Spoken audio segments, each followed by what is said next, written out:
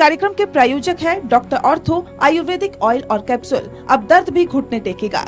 नमस्कार, state bulletin में आप सभी का स्वागत है। मैं हूँ आपके साथ नलिनी सिंह पालेवाल। बुलेटिन की शुरुआत करते हुए बता दूँ, खबर झारखंड से है। झारखंड राज्य के पूर्व दिवंगत शिक्षा मंत्री रहे स्वर्गीय जगन्नाथ महतो की पहली पुण्यतिथि के अवसर पर दिवंगत पूर्व शिक्षा मंत्री जगन्नाथ महतो के बोकारो ज़िले के अंतर्गत चंद्रपुरा में स्थित पैतृक गाँव अलारगो में श्रद्धांजलि सभा का आयोजन किया गया। इस श्रद्धांजलि सभा में राज्य के मुख्यमंत्री चंपई सोरेन, मंत्री बसंत सोरेन, पूर्व मुख्यमंत्री हेमंत सोरेन की पत्नी कल्पना सोरेन ने मौके पर पहुंचकर जगन्नाथ महतो को श्रद्धांजलि दी। इस दौरान बड़ी संख्या में स्थानीय लोग भी वहाँ मौजूद रहे। सभी लोगों ने जगन्नाथ महतो के लिए कार्यों को याद किया और कहा कि जगन्नाथ महतो हमेशा अपनी जनता के लिए सोचने का काम करते थे। उनकी सोच को बनाए रखने के लिए हमें इस चुनाव में काम करना होगा। इस दौरान कल्पना सोरेन ने कहा कि हमें टाइगर की सोच को ज़िंदा रखना होगा, क्योंकि उनकी सोच को रखकर ही हम झारखंड को बेहतर झारखंड बना सकते हैं। और लोगों के लिए बेहतर तरीके से काम कर सकते हैं। साथ ही मुख्यमंत्री चंपई सोरेन ने कहा कि जगन्नाथ महतो की सोच यहाँ के लोगों के लिए थी। उन्होंने स्थानीय नीति बनाने के काम किए थे। साथ ही और 1932 को एक पहचान देने का काम भी किया था। उन्होंने बीजेपी पर हमला करते हुए कहा कि बीजेपी कभी आदिवासी और मूलवासियों के लिए नहीं सोचती है। वो सिर्फ़ यहाँ के खनिज संपदा को गिद्ध दृष्टि से देखती है और सरकार बनने पर उसका इस्तेमाल करती है।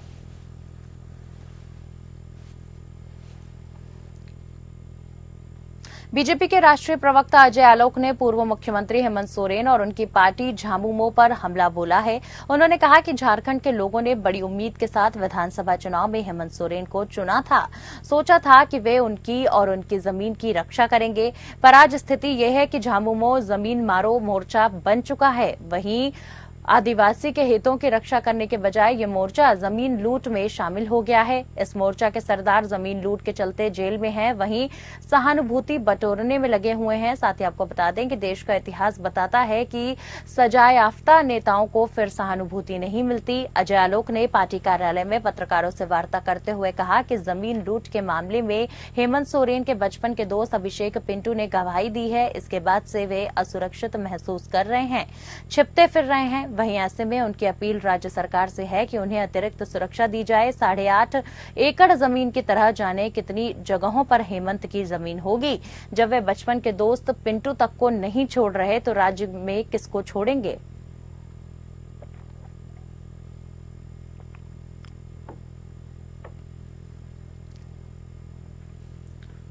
बोकारो का शहरी इलाका बुद्धिजीवियों का इलाका माना जाता है और ऐसे बावजूद इसके यहाँ मतदान प्रतिशत काफ़ी कम रहता है।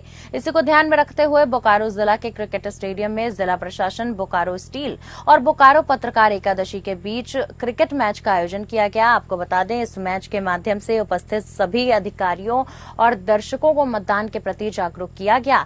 इस क्रिकेट मैच में बोकारो पत्रकार एकादश ने बोकारो स्टील प्लांट को हराकर खिताब पर कब्जा जमाया। वहीं इस दौरान दौरान बोकारो स्टील के अधिकारी पर जिला प्रशासन के अधिकारियों ने मैच का आनंद उठाया और बोकारो शहरी इलाके के लोगों को अधिक से अधिक मतदान करने की अपील की। वहीं बोकारो स्टील प्लांट के अधिशासी निर्देशक बी के तिवारी ने कहा कि लोगों को मतदान में भाग लेना चाहिए और एक मज़बूत लोकतंत्र की स्थापना करनी चाहिए। इसको लेकर हम लोग जागरूकता करने के लिए ये मैत्री मैच खेल रहे हैं।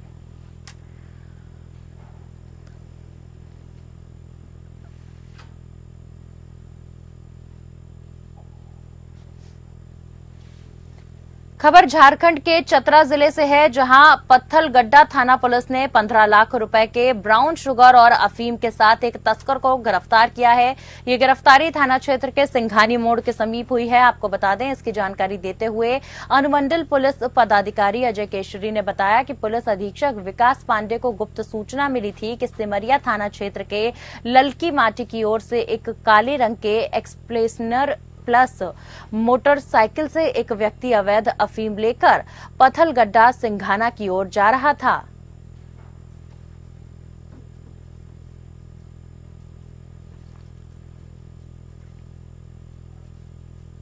बोकारो से गुजरात काम करने गए इक्कीस वर्षीय नौजवान युवक अंतनु घोषाल की मौत हो गई। जानकारी के मुताबिक मृतक अपने अन्य सहयोगियों के साथ गुजरात के मुरबी के पास खरटिया स्थित दवाई फैक्ट्री में काम करने गया था।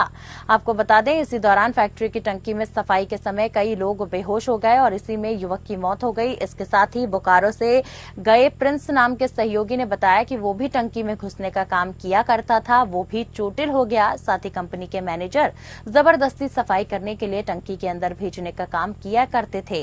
जिस कारण ये हादसा हुआ, वहीं परिजनों का रो रो कर बुरा हाल है। मृतक के पिता का कहना है कि हम डेली कमाने खाने वाले व्यक्ति हैं।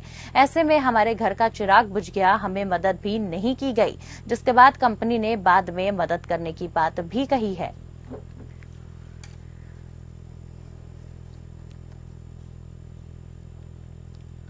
बोकारो जिला के उपनगर चास थाना के पास एक मिल्क पार्लर और एक चाय की दुकान में चोरी हो गई। चोरों ने मिल्क पार्लर के दुकान का चदरा तोड़कर दुकान में रखे पनीर, खोआ, घी और पैसे की चोरी कर ली, जबकि चाय दुकान में रखे बिस्किट, चाय पत्ती सहित और सामानों की चोरी कर ली गई। बता दें कि इस घटना को अंजाम देकर चोरों ने पुलिस को खुली चेतावनी देने का काम किया और पुलिस की पेट्रोलिंग पर भी सवाल खड़ा कर दिया।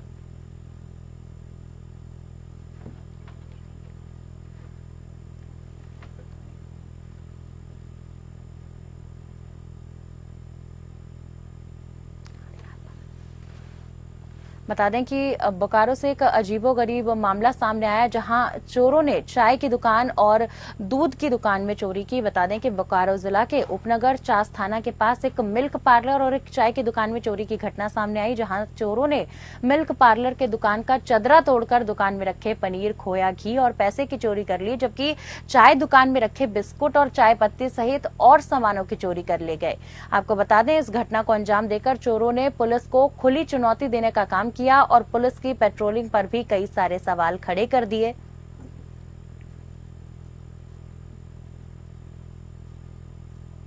एक अजीबोगरीब चोरी की वारदात का मामला सामने आया, जहाँ बोकारो में चास के पास मिल्क पार्लर और चाय की दुकान में चोरी की घटना को चोरों ने अंजाम दिया। बता दें कि जिस तरीके से घटना की अंजाम दिया गया, उसको लेकर हर कोई सत्ते में है, क्योंकि न सिर्फ़ पा, मिल्क पार्लर बल्कि चाय की दुकान को भी निशाना बनाया गया और इस दौरान गले में रखे हुए पैसे चाय पत्ती दूध जैसी चीज़ों को चुराया गया।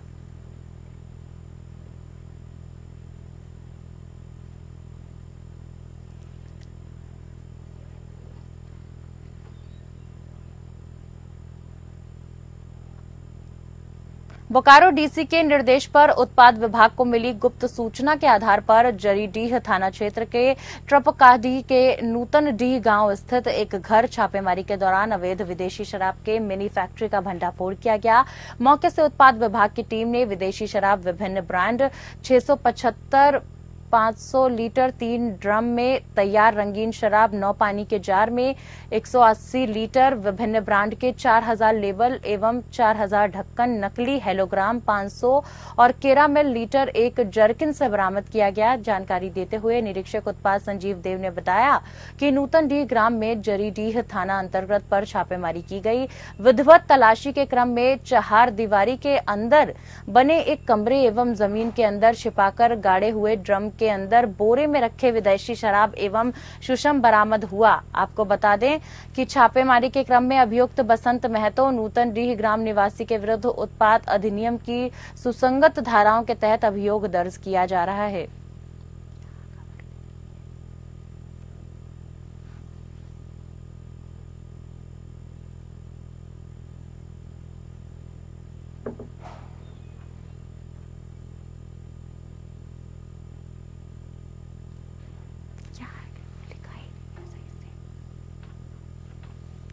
आपको बता दें कि विभिन्न विदेशी शराब ब्रांड के दुकानों पर पुलिस द्वारा छापेमारी की गई। बता दें, पुलिस ने मिनी फैक्ट्री में छापेमारी की और इस दौरान पुलिस ने लगभग विदेशी शराब ब्रांड के 675 लीटर के तीन ड्रम और कई ब्रांड के ड्रम को बरामद किया। जानकारी देते हुए निरीक्षक उत्पाद संजीत देव ने बताया कि नूतन डीह ग्राम में जरीडीह थाना अंतर्गत पर छापेमारी की गई, जहाँ विधिवत तलाशी के क्रम में चहार दीवारी के अंदर बने एक कमरे और ज़मीन के अंदर छिपाकर गाड़े हुए ड्रम के अंदर बोरे में रखे विदेशी शराब और सुश शव बरामद किया गया। इसके साथ ही छापेमारी के क्रम में अभियुक्त बसंत महतो नूतन डीह ग्राम निवासी के खिलाफ उत्पाद अधिनियम की सुसंगत धाराओं के तहत मामले को दर्ज किया गया है।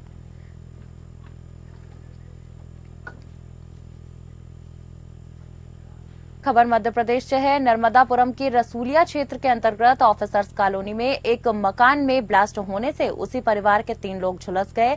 बता दें कि घायलों को तुरंत जिला अस्पताल में भर्ती कराया गया, जहाँ घायलों का इलाज लगातार जारी है। आपको बता दें कि रसूलिया की ऑफिसर कॉलोनी में किराए से रहने वाले साहू परिवार सुबह नर्मदा स्नान करने गए थे। लौटने पर जैसे ही सरिता साहू ने घर का गेट खोला, एकदम से ब्लास्ट हो गया, जिसमें सरिता साहू, उनके पिता लक्ष्मण साहू और एक साल की बेटी झुलस गई। हालाँकि अभी ब्लास्ट कैसे हुआ, इसकी जाँच एफएसएल की टीम लगातार कर रही है। वहीं घर वाले भी कुछ भी कहने की स्थिति में अभी नहीं है। ब्लास्ट इतना तेज था कि घर के बाहर की खिड़कियों के कांच तक फूट गए। वहीं बाथरूम में लगा गेट, चौखट सहित ही बाहर निकल आया। घर का पूरा सामान भी अस्त व्यस्त हो गया।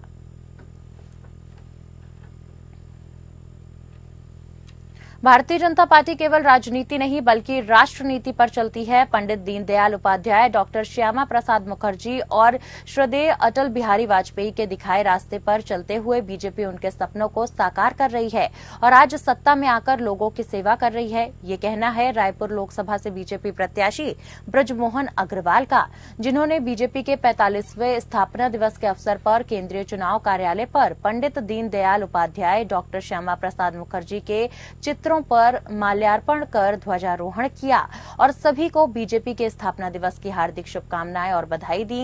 इस अवसर पर पार्टी कार्यकर्ताओं को संबोधित करते हुए अग्रवाल ने कहा कि कश्मीर से धारा 370 का हटाना, अयोध्या में प्रभु श्रीराम का भव्य मंदिर बनाना देश से तीन तलाक समाप्त करना सीएए लागू करना, आदि जिन विचारों को लेकर जनसंघ और बीजेपी की स्थापना हुई थी, आज यशस्वी प्रधानमंत्री नरेंद्र मोदी के नेतृत्व में वो सभी वादे पूरे हो गए हैं।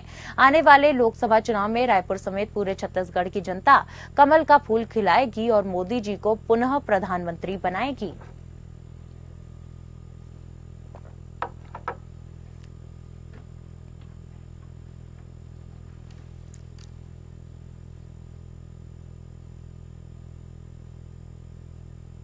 बता दें कि माल्यार्पण कर और ध्वजारोहण कर पूरे हर्षोल्लास के साथ पार्टी के कार्यकर्ताओं ने और बीजेपी के प्रत्याशी ने पार्टी का स्थापना दिवस मनाया। बता दें कि ब्रजमोहन अग्रवाल ने ध्वजारोहण किया, जो कि इस वक्त रायपुर से बीजेपी के प्रत्याशी हैं और साथ ही साथ इसके बाद उन्होंने हर्षोल्लास के साथ पूरे दफ्तर पर मिठाई बांटी। बता दें कि बीजेपी के स्थापना दिवस के अवसर पर उन्होंने ध्वजारोहण कर कार्यकर्ताओं को संबोधित भी किया।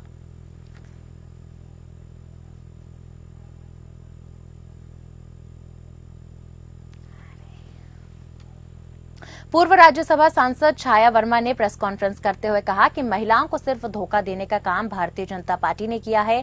अपने घोषणा पत्र में एक हज़ार रुपये प्रतिमा देने की बात करने वाली भारतीय जनता पार्टी आज मात्र 20 प्रतिशत महिलाओं को पैसा दे रही है। चार महावीर जाने के बाद भी सिर्फ़ एक किश्त उनके खातों में पहुँची है। इस दौरान कांग्रेस के वरिष्ठ नेता धनेन्द्र साहू सत्यनारायण शर्मा सहित कांग्रेस के तमाम नेतागण इस मौके पर मौजूद रहे।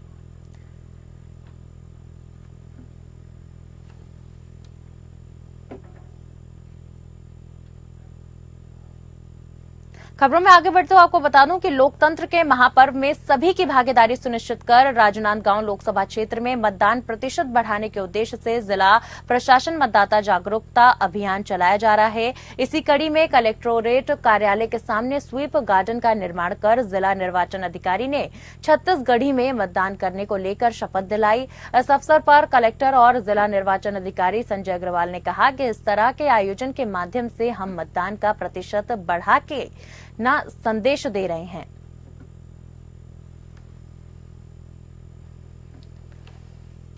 सतपुड़ा पर्वत की मैकल पहाड़ी श्रृंखलाओं से घिरे सुर में वादियों में स्थित ऐतिहासिक भोरम देव मंदिर के प्रांगण में वर्षों से आयोजित हो रहे भोरम देव महोत्सव की परंपरा को कायम रखने, जिला प्रशासन की तरफ़ से दो दिवसीय भोरम देव महोत्सव के सांस्कृतिक कार्यक्रमों का दीप प्रज्वलित कर मंत्रोच्चार के साथ भगवान भोरम देव की पूजा अर्चना कर विधिवत शुभारंभ किया गया।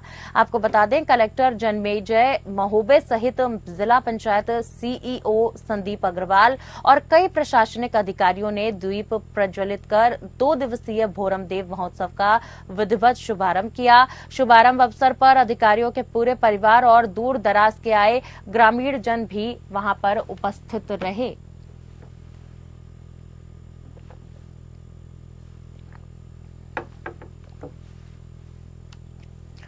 बोकारो ज़िले के बालीडी पेट्रोल पंप से पेट्रोल लेकर निकलने के दौरान बाइक सवार विशाल कुमार सिंह के साथ मारपीट और बाइक समेत पैसे की लूट मामले का पुलिस ने खुलासा कर दिया है। बता दें कि पुलिस ने इस मामले में चास के रहने वाले पूर्व के तीन आरोपियों को गिरफ़्तार किया है। इसकी जानकारी देते हुए प्रभारी मुख्यालय डीएसपी आशीष कुमार ने महली ने बताया कि ये घटना पाँच अप्रैल को घटित हुई थी और एसपी के निर्देश पर गठित एसआईटी टीम ने चौबीस घंटे के अंदर मामले का खुलासा कर दिया और सभी आरोपियों को गिरफ़्तार कर लिया गया है। हम लोगों के द्वारा एक अवैध शराब फैक्ट्री के उद्भेदन किया था जिसमें कांड अर्जित किया गया उस संबंध में हम लोगों के द्वारा पूर्व में दो अभियुक्तों को गिरफ़्तार कर रियायती हिरासत में भेजे पुलिस अधीक्षक महोदय के द्वारा खुद मॉनिटर किया जा रहा है कि आगे क्या कर रहे हैं। एक एस टीम का गठन किया गया है, मेरे नेतृत्व में।